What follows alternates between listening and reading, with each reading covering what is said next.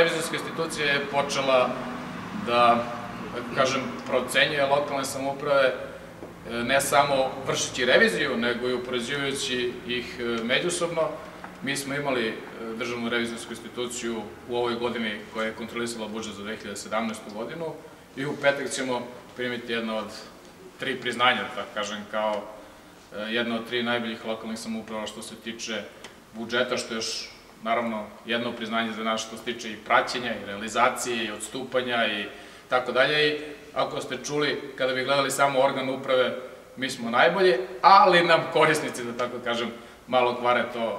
mesto, pa smo treći u ukupnom plasmanu, da tako kažem. To je za nas priznanje, ali na neki način i pravac razmišljanja da i onako po meni dosta dobro strukturanje e,